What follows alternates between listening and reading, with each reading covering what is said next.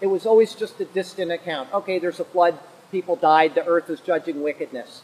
The flood was coming to save Noah, and the wicked were going to be destroyed with that flood. But it became personal to me when I thought about those people from the perspective of the people who are around me right now who are not believers. These people that were on the earth at that time were real human beings, and there were probably billions of them, just like the people that we pass on the streets every single day. They were just like our old boyfriend or old girlfriend that we still think about when our minds are silent in the evening. Or they're just like the people that we go and we see at work every single day that are so dear to us, and the people that we greet in our neighborhoods that we think, boy, that's just a really nice, wonderful person.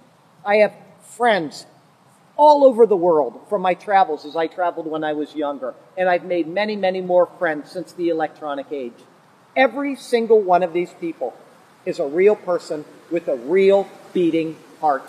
They have real hopes, they have real desires, they have real aspirations, and every single one of them is either in Adam or they are in Jesus Christ.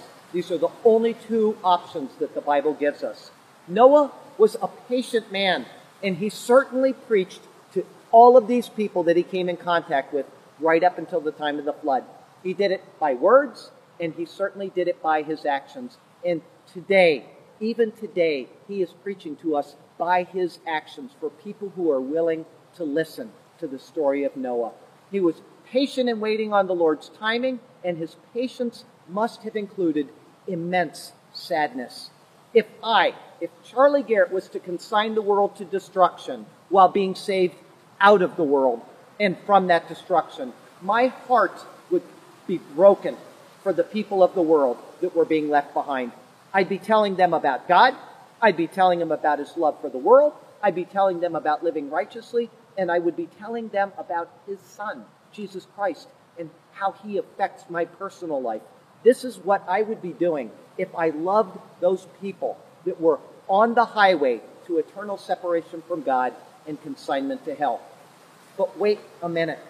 The world is consigned to destruction, and some people are going to be saved out of it. And I am one of those people. I need in my own personal life to get back to telling people about God, about His love for the world, about living righteously, and also about His Son, Jesus Christ, and what He means to me. This is what I need to be doing, and all of us here need to be doing if we really, really love those people.